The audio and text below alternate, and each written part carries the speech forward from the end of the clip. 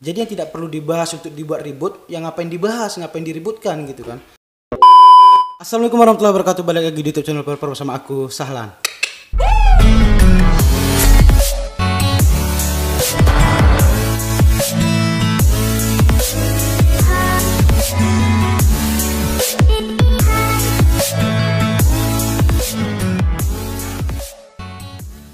Nah, saya apa kabar semua hari ini Indonesia, Malaysia dari Sabang sampai Merauke. Siapa yang mungkin menonton video ini selain harap hal keadaan sehat dan baik-baik saja tentunya.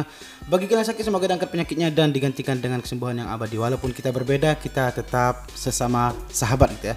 Nah, jadi di video kali ini geng uh, sesuai dengan judul yang di bawah yang kalian lihat, ini adalah salah satu rekomendasi uh, beberapa teman yang meminta aku untuk mereaction dari salah satu rasa kepedulian dan rasa uh, saling bahu membahu antar sesama manusia gitu ya. Terlebih-lebihnya lagi kita seiman, seakidah dan seagama gitu. Nah, jadi di video kali ini yang berjudul Bukti Jasa Malaysia kepada Indonesia yang tak terlupakan. Terima kasih saudara serumpunku. Nah, jadi bagi kalian baru suka channel ini jangan lupa klik tombol subscribe untuk membangun channel ini dan membuat salam lebih bersemangat lagi. Jadi video-video reaction seperti ini yang kita buat adalah bukan untuk maksud untuk uh, ya menjelekkan atau untuk menyinggung satu sama lain gitu ya. Hanya saja untuk mempereratkan ikatan tali silaturahmi antara Indonesia dan Malaysia, geng. Ya seperti kita ketahui Indonesia dan Malaysia itu mayoritasnya Islam gitu kan ya seiman seakidah dan seagama gitu. Satu rumpun coy ya bagikan kakak beradik gitu loh ya. Satu nenek moyang gitu. Intinya anak cucu Nabi Adam gitu. Nah jadi sebelum videonya seperti biasa kita tunggu mundur 3 2 1 mulai. Boom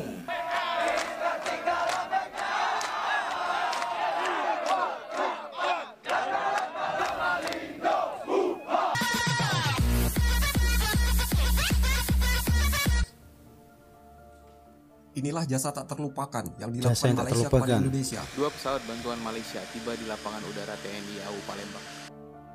Hubungan Indonesia dan Malaysia dari dulu memang naik turun. Ya. Kadang karena masalah sepele, kedua netizen di dua negara ini langsung terbakar emosi. Alhasil terjadilah saling hujat antara para ya, betul, media ya. sosial ya. di kedua negara ini. Gara-gara media sosial antara kedua negara ini seakan-akan ribut gitu ya. Dengan yang lainnya kebanyakan diketahui oleh masa hanya keburukannya saja. Karena ya betul, tunggu sebentar, betul ya, betul sekali ya. Ini channel dari Les Teacher ya, dia memang salah satu channel uh, Indonesia yang uh, terkadang membahas membahas video itu keharmonisan gitu. Dia membuat video untuk memverifikasi untuk uh, ya keharmonisan antara satu sama lain gitu ya. Yang jelasnya channel-channel seperti ini ya menurut aku sih recommended ya untuk ditonton bagi kita-kita kalangan yang masih muda gitu kan. Nah, jadi Betul kali ya. Uh, kalau memang Indonesia dan Malaysia itu seakan-akan ribut gitu ya. Hanya di media sosial. Tapi kalau memang uh, betul-betul Indonesia dan Malaysia itu ribut atau memang saling bermusuhan gitu ya. Tidak ada mungkin ya, tidak mungkin uh, kita sebagai rakyat Indonesia itu bisa seenaknya dan bahkan ya bisa mencari rezeki di negara mereka gitu ya. Di negeri Malaysia gitu kan. Bahkan sebaliknya juga, geng. Sebaliknya juga di Indonesia juga banyak rakyat-rakyat Malaysia yang berkunjung ke Indonesia gitu ya banyak juga rakyat-rakyat Malaysia yang berkunjung ke Indonesia gitu. Itu tidak ada permasalahan, bahkan semuanya damai-damai aja gitu. Bahkan semuanya ya baik-baik aja gitu. Tidak seperti apa yang kalian bayangkan, geng. Jadi uh, jangan uh, sedikit ya setetes air yang keruh itu diperbesar-besarkan, geng. Itu jangan seperti itu, geng. Itu sifat-sifat yang tidak terpuji gitu.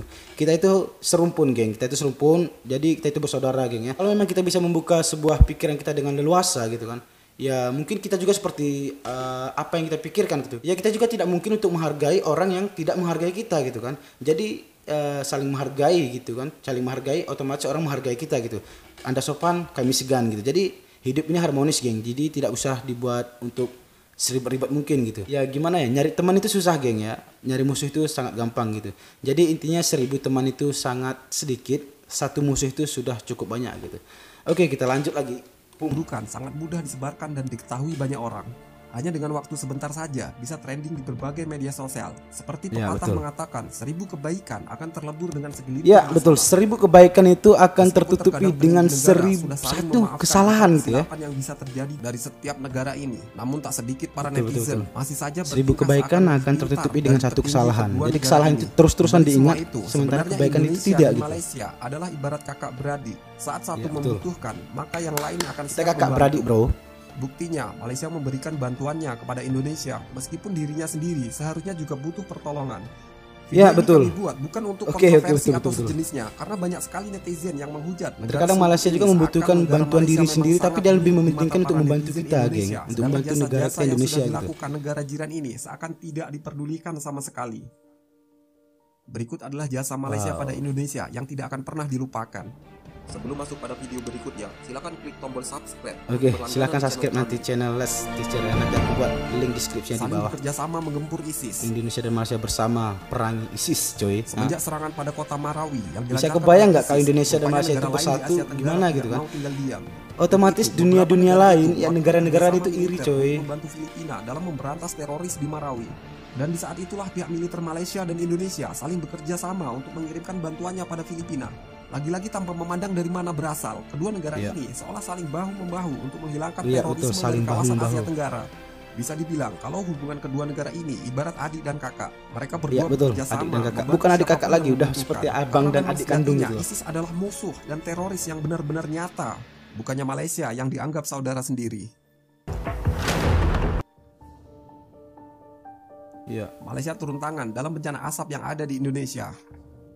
Dalam bencana Lihat tetangganya Indonesia. mengalami kesulitan. Rupanya Malaysia tidak hanya berpangku tangan. Dengan keadaan kebakaran luar biasa di Kalimantan beberapa tahun yang lalu, terjadilah di bencana lain. beberapa tahun asap yang ya. membuat Itu rakyat Indonesia kebakaran itu menderita. kebakaran Lalu hebat, apa. Malaysia diam saja? Mereka justru mengerahkan bantuannya, baik para sukarelawan hingga militernya demi memadamkan api dan asap Wow. yang ada di sana. Sekali lagi saudara satu rumpun itu membuktikan bagaimana eratnya hubungan kedua negara ini. Iya, betul betul. Bayangkan, tanpa peduli dari mana berasal, banyak sukarelawan Malaysia yang melewati batas negara hanya demi membantu negara kita. Iya, betul. Tsunami, Tsunami Aceh. Aceh ya, tsunami Aceh itu aku masih Kita ingat pasti ya. ingat dengan Tsunami tragedi Aceh. bencana tsunami yang menimpa Aceh beberapa waktu yang lalu. Dari bencana tersebut, sudah 200 ribu korban yang berjatuhan. Namun di balik penderitaan tersebut, ingatkah kita, bantuan paling awal yang diterima Indonesia, tidak lain dan tidak bukan berasal dari negara tetangga kita sendiri, Malaysia. Padahal kalau ditengok, negara mereka sendiri waktu itu juga menjadi korban bencana tsunami. Namun Iya, justru betul. mereka malah masih bisa membantu kita dengan Bahkan datang mereka langsung masih ke bisa Indonesia. membantu kita, Bukan hanya itu, bahkan sampai beberapa tahun pasca tsunami, Malaysia masih rutin memberikan bantuannya pada Aceh. Jasa mereka seharusnya tidak kita lupakan. Memang sebagai negara yang bertetangga, kita selalu butuh Iya, betul. satu sama lain. Betul, betul, betul.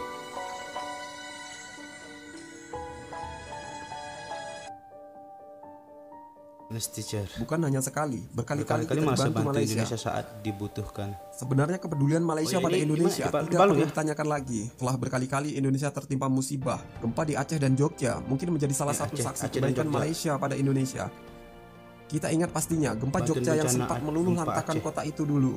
Dengan keadaan seperti itu, Malaysia tidak ragu memberikan bantuannya pada TKI yang menjadi korban di Jogja atau gempa Aceh dan Sumatera Barat tahun lalu. Negeri jiran itu bahkan mengulurkan bantuan sebesar 1 juta dolar demi Indonesia. Indonesia dan Malaysia adalah satu saudara serumpun. Satu terluka, lainnya pun ikut merasakan. Betul, betul, betul, betul. Dari Satu berbagai kebaikan yang dilakukan oleh. Malaysia itu, kita tidak boleh lupa kalau ternyata negeri jiran adalah paling perhatian kepada Indonesia. Terlepas Betul, dari betul, semua perselisihan dan kesalahan yang Itu ada, akuin jangan ya, lupa gua kalau akuin. kita adalah satu saudara serumpun yang Negara yang memiliki paling seni dan budaya yang sangat mirip. Itu dan yang perlu Anda tahu, Malaysia, Malaysia, adalah negara Melayu yang mayoritas adalah muslim penduduknya, sama seperti Ya negara betul. kita tercinta. Malaysia adalah Indonesia. Melayu, mayoritas Islam penduduknya. Betul, betul. Ya walaupun kita berbeda, kita tetap eh, sama-sama manusia ya. Kita sama-sama bersahabat gitu. Nah, geng jadi videonya sekitar eh, lima menitan lebih gitu. Ya menurut aku sih memang seperti itu ya. Kalau di media sosial itu eh, antara masyarakat Indonesia dan Malaysia itu ya itu sih sebagian saja masih budak-budak gitu yang tidak tahu sejarah. Bahkan mereka untuk saling menjelekkan gitu kan. Ya itu hanya di media sosial saja geng. Tapi kalau kalian bisa turun ke Indonesia gitu kan bahkan sebaliknya juga kami juga Indonesia mencari rezeki dan mengais rezeki terkadang ke Malaysia gitu kan. Jadi ya baik-baik aja gitu. Bahkan keluarga Salam juga pernah ya pernah merantau ke sana bahkan pulang sampai pulang alhamdulillah baik-baik saja gitu kan. Karena kita datang dengan baik-baik otomatis mereka juga baik-baik dengan kita gitu kan. Sebaik-baiknya manusia seperti apa pun pasti mempunyai batas kesabaran gitu. Jadi kalau kita sopan ya tidak mungkin kan hal-hal yang buruk itu terjadi kepada diri kita sendiri gitu kan. Ya intinya kita bisa hidup di mana pun kalau kita memang mempunyai niat baik dan mempunyai akhlakul korimah gitu. Jadi ya kalau hanya bercekcok ribut hanya di media sosial saja itu bagi gua sih ya bodoh amat gitu kan yang jelasnya eh, kita bisa melihat sebuah sejarah-sejarah ya kita juga saling melihat saling menilai bagaimana tentang peradaban bantuan dan bagaimana mayoritas atau rasa kepedulian mereka terhadap kita negara Indonesia gitu. Bukan berarti gua memuji-muji negara Malaysia bukan ya. Ya sebenarnya kita ini Indonesia dan Malaysia ini sebenarnya sih satu gitu kan. Ya kalau secara logika gua pribadi sih ya, kita itu satu hanya saja terpisah dengan lautan, geng ya, dengan lautan yang luas gitu. Itu hanya terpisah dengan lautan. Jadi yang tidak perlu dibahas untuk dibuat ribut, yang ngapain dibahas, ngapain diributkan gitu kan. Ya kita juga harus memahami yang mana kita yang lebih tua daripada budak-budak. Kita nggak usah ikut campur dengan media-media sosial yang ribut-ribut gitu yang memperkeruh ikatan tali silaturahmi Indonesia dan Malaysia gitu. So jadi damainya dalam hidup itu sebenarnya kita melupakan jasa kita kepada orang lain dan kita tidak bisa melupakan jasa orang lain kepada kita gitu. Jadi hidup itu tentram, damai dan ya dan kita bisa mengkondisikan diri kita terhadap orang yang sudah membantu kita gitu.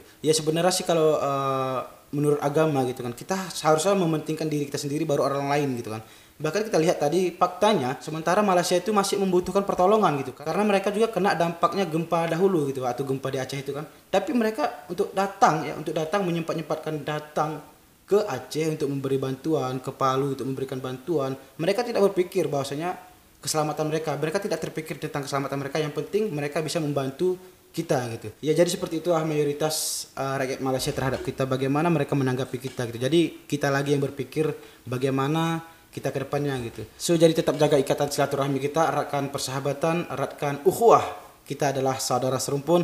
So jadi saya rasa cukup sampai di sini video ini. Lebih dan kurang salah minta maaf. Silahkan komentar di bawah, baik penonton Indonesia maupun negara Malaysia.